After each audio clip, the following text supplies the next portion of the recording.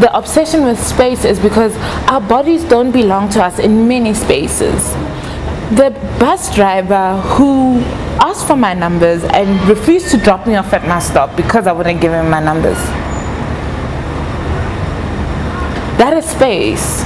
When I walk in the streets of Johannesburg, and I love walking, and that's why I live in the city, it's really beautiful and everything.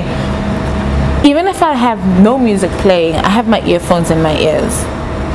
And even then, my space is not respected. No, it's to pretend that I don't hear it because I also don't put on the music because I don't think it's safe for me to walk and not hear things. So it's to create the illusion that I am not listening, but I can still hear everything because I don't want a man also walking behind me for too long and me not being aware of that. And if you have music in your earphones, that kind of happens, you know.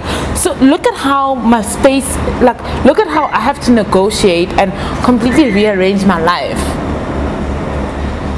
to occupy public, what is called public space, but isn't public.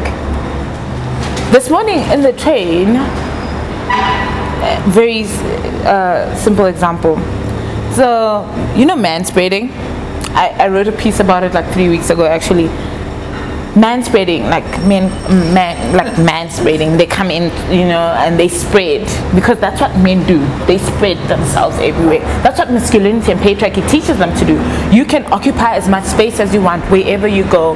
No one's going to stop you. So we created a feminist Stokvel, and in a lot of our events, we don't allow men and white people. Simply because we just want to be black women. And we want to cry, we want to laugh, we just want to be.